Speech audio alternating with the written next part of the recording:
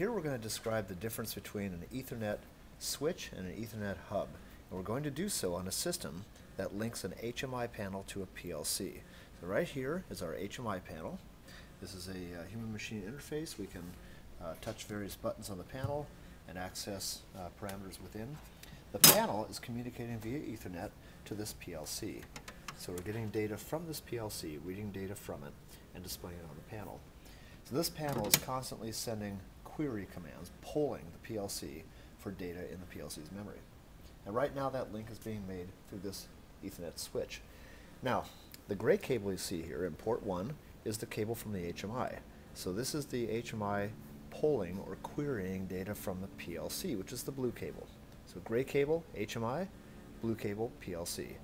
You can see from the blinking LEDs we have activity on both ports. Uh, the HMI on port 1 is sending data in, the PLC is replying with data, the blue cable in port number 3, and you see the activity.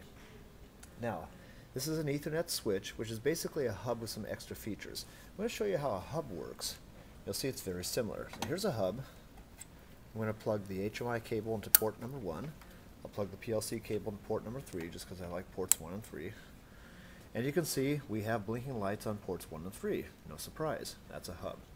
Now, hubs differ from switches in that in a hub, when it receives a signal from any of the ports, it broadcasts to all the ports.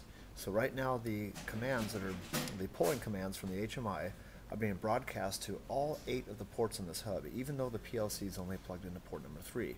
So if we had other devices plugged into these ports, they'd be receiving the same queries. And they'd ignore them because the queries come with a, a MAC address, who it's coming from and who it's going to.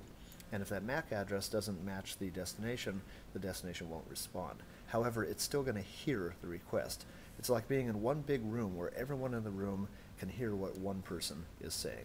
Now notice what happens if I take the blue cord, which is our PLC, I move that to another port, like number 5, you'll see that they both light up and they both start talking right away. That's no surprise because we have uh, eight ports here that, that messages from the HMI are being broadcast to all eight ports. I want to go back to the switch and describe how it differs and show you an interesting characteristic of switches that you may have to be aware of in troubleshooting networks. So here we have our HMI and our PLC talking on ports 1 and 3 respectively, and it's working like it should to see the blinking lights.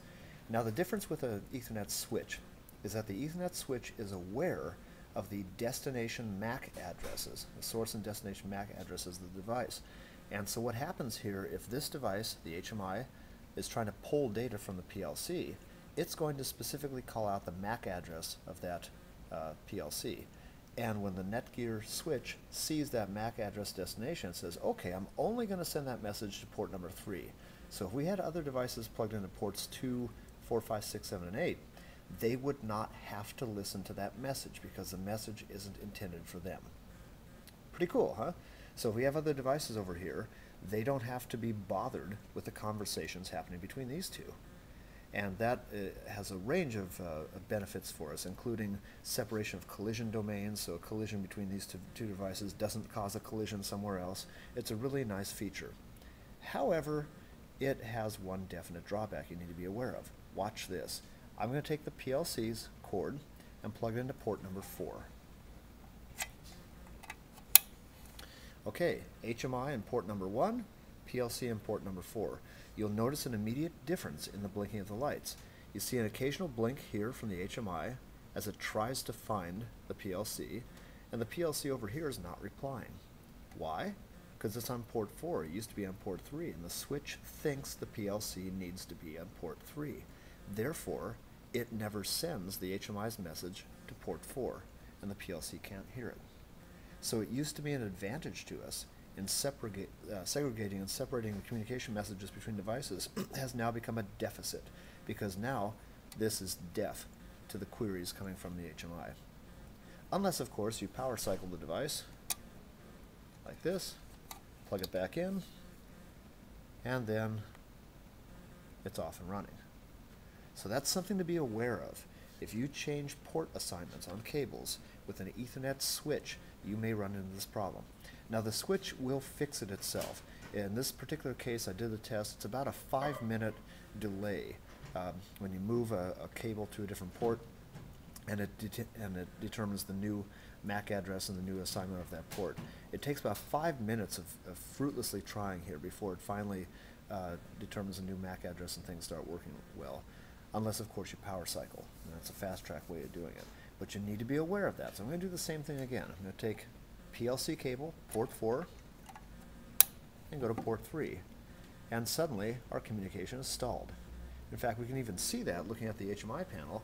We now have an error message, PLC communication timeout. It is trying to pull information from the PLC. It says it can't find the PLC, it's not getting a reply, so it says it gives a timeout error. And now it picked it up. This uh, took quite a bit less time than I thought. It picked it up again, it's talking now, but there was a delay before uh, until that happened. Now it's interesting, if I take the HMI's cable right here and switch its port assignment, it doesn't take nearly as long to reestablish. Watch this. I'll take that out of port 1, go to port number 5. Immediately picks up. Port number 6. Immediately picks up. Why, you ask?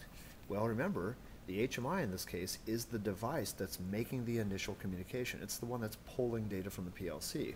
So every time it talks, the Netgear hub says, oh, I know what your MAC address is now, and it reassigns the port.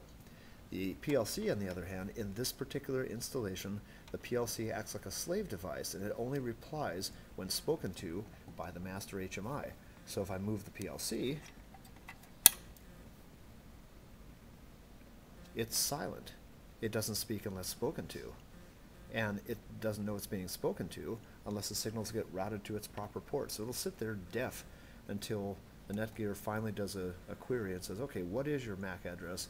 Reassigns the port and it works. Or I can force that to happen by power cycling the hub, the switch, I should say. There we go. So, difference between an Ethernet switch and a plain old Ethernet hub, and the uh, advantages and possible disadvantages thereof.